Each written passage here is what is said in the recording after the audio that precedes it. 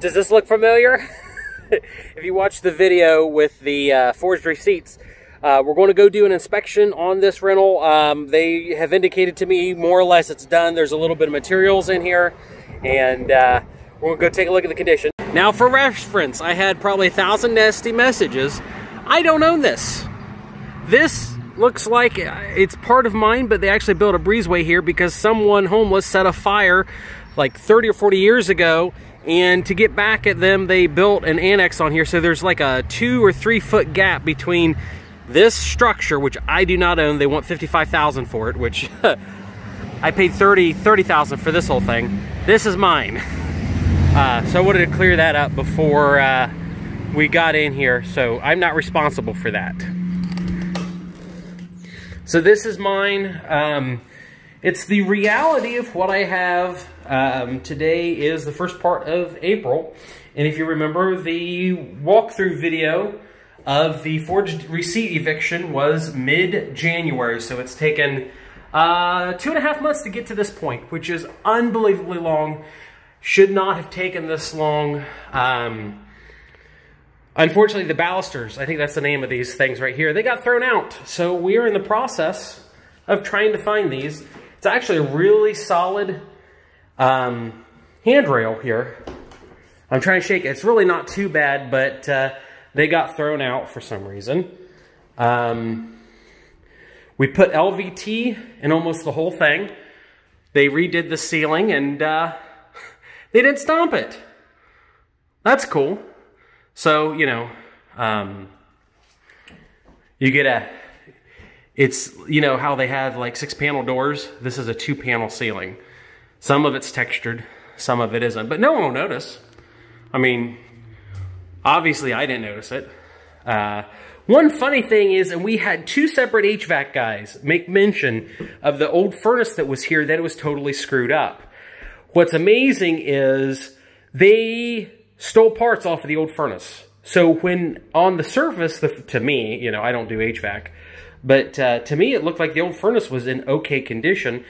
We tried to get it fired up for um, the winter because it was cold. And there were stolen parts on it, and to fix the old furnace is going to be $350. This is a Goodman furnace. We put them in almost every rental that I have. It's a 96.1% efficient furnace. Um, this has the variable it's like in a variable induction motor on it, so it's really high efficiency. I think I paid $650, $750 for it, but we put these in almost everything and it saves a ton on utility bills because I would much rather have a tenant paying me rent than a heating company um, a bunch of utility bills. So, here is the room, and of course it's dirty. I gotta get my cleaning crew in here. Um, but we redid all the floors. If you remember, they were just an absolute disaster. We've put in two, two brand new windows here. Uh, for better or worse, they were, this one was broken out and glass everywhere. Um, so we put two new windows in. Um, I think I think at least two new windows. So we put two new windows in. We kept the door over here. Um, there's where the dryer was. Um, that was not the utility. I don't know why they had a dryer in there with Bibles in it, but they did. Um, didn't do much to that closet. Kind of looks like crap, but oh well. Um, so this, I, would have to look and see how much money I have in it, but we're around between four and five thousand dollars at this point, I think. Um, the LVT alone was fifteen, sixteen hundred dollars. Um, it looks like it was mismeasured because I've got a lot of extras, but uh, both my buddy and I, Sean, have decided to go with this type of Shaw resilient uh, luxury vinyl tile. It, it's worked real well for us. So this is going to be the standard, at least that I hope, that goes in everything. Um, so the flooring uh, with labor was probably the most expensive thing. I probably have 2250 in it or so. A lot of these walls had to be painted. We thought that we were going to go with something like um, shiplap, but uh, I was uh, informed wrong. I had this whole thing on our Facebook community post, but we didn't do that. Uh, we bought a new door. That's like 60 or $70, a new light, um, new commode, new sink. Um, they had to do some boxing here. The shower is still dirty and crappy, but um, my cleaning person, I think, can get it fixed. Um, be sure to like and subscribe to my channel. These were on sale from Lowe's for 100 bucks. I can't remember if I used my uh, Lowe's hack to get this, but I ended up getting 25% off the, the flooring here. Um, we'll post a link to a video on how I did that by stacking rewards and buying gift cards at a discount off face value. There was a utility room here. We had to remove it. Um, it was just not safe. What had happened before was the washer was set up, the drain system on the washer over here is done so poorly that it was actually getting moisture and water on the box. So unfortunately we had to uh, just remove the washer and dryer. We'll have to use my competitor's laundromat. Um, we did a new countertop. This is from Menards. This is from Lowe's. We just used unfinished. Lowe's had a sale on these cabinets here. Um, the cabinets and countertop were about $400 plus labor. The floor underneath this, all of the, the subflooring under there was completely rotted out.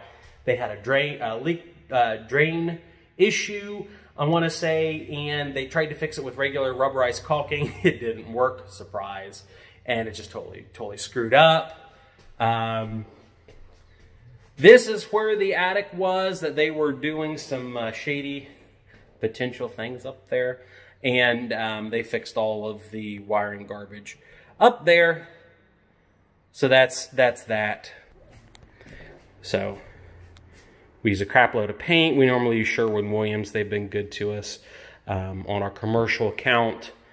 Um, I can't think of too much else. We They put this door in here. I think it was I don't think it was here earlier. That looks like crap. But the rest of the apartment, in my eyes, looks pretty decent. Um, trying to get a little more rent off of it. It was originally a $300 apartment, so I'm hoping to ask a little more. Obviously, there's some more things to button up, but I wanted to get an update before um, we were trying to get this done. I had to come out and throw a lockbox on it so the cleaning people, whoever else, can get out here and, you know, clean some things up. They had to repaint the ceiling. Um, looks pretty good. We need to put a fan in there. But uh, everybody's been asking me where the this property was. And unfortunately, it's just the problem that I've been having as a landlord uh, getting my maintenance requests done in an efficient manner. Um, at 140 rentals, I prob I've, I've, overbought, to be honest with you guys.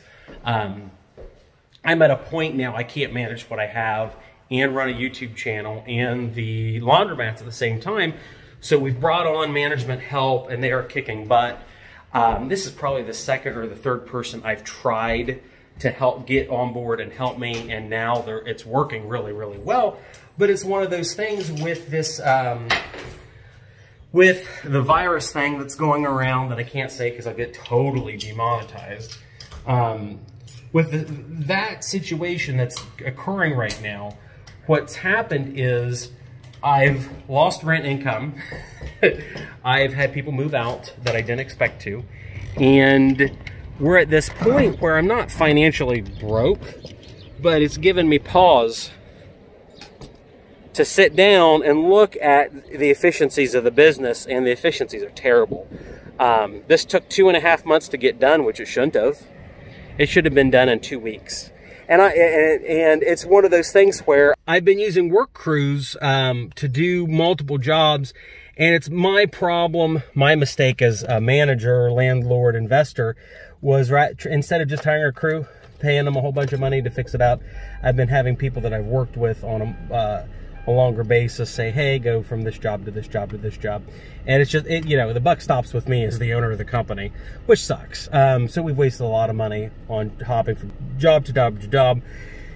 And the systems that I have in place, or I thought I had in place, just haven't worked like I had hoped they are. Um, so at some point we'll get all these things fixed so then I can go and expand the company because at 140 rentals, if I'd be honest, I probably have like 30 or 40 too many um, because I've still got to get the trailer park up and running and get that all figured out uh, because we still have problems down there. I mean, the trailers are getting installed, which is nice, but then we have these kinds of problems with this apartment complex or this duplex here, um, and it should have been done two months ago, and it wasn't.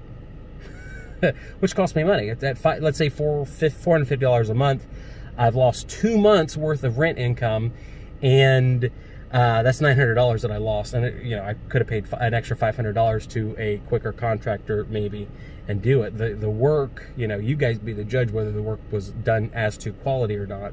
I think it looks okay. It looks a heck of a lot better than it was. But at two and a half months, it's just one of those things where we, I need to get things tightened up, more efficient, um, so the company can make more money, so then I can sock away more money for the next epidemic or the next recession or whatever. Be sure to like and subscribe to my channel because I continue to haul my phone around as I run the company. Um, hopefully, as I make a lot more money than I do right now.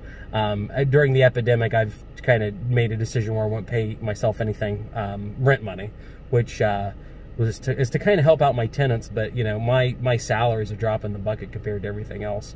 Uh, keeping my contractors and workers paid priority number one. Well, priority number one is my mortgages. The contractors and workers are number two. Um, be sure to sign up to Webull if you have ever desired to make money in the stock market, please go to the description below and uh, sign up to Webull. You can get two free stocks, and they're worth anywhere between seven and fifteen hundred dollars. Um, I've had two users now that have signed up to Webull, and they've got. I think one guy got two hundred dollars worth of stock. Another guy uh, got up to three hundred dollars worth of stock. And if you go on Discord, you can talk to those guys because it's not a gimmick. So thank you guys for watching. I appreciate every single one of you.